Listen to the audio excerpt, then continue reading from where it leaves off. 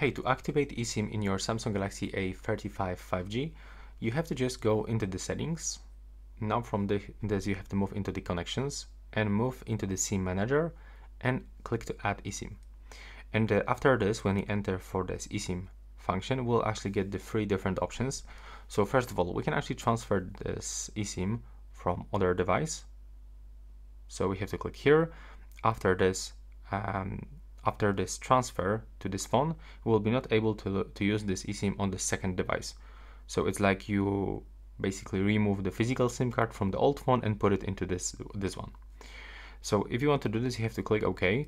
After this, you have to select the other service provider and now pick your country. And when you do this, just simply go for all of the steps that you have on the screen. The second way is actually to go and scan the QR code. So if you order the eSIM and you actually receive the QR code or get it, for example, on your PC email, uh, you can click to add the QR code. And from this, in this frame, you have to actually input this QR code of the eSIM and simply follow all of this on-screen instructions.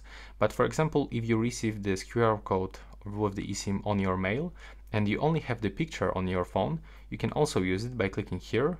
And now, uh, for example, if you save it in the recents or the camera or I don't know, any different folder, just go for it, select, and from this, uh, with this frame, just select the QR code that you have to scan, and then you have to click done.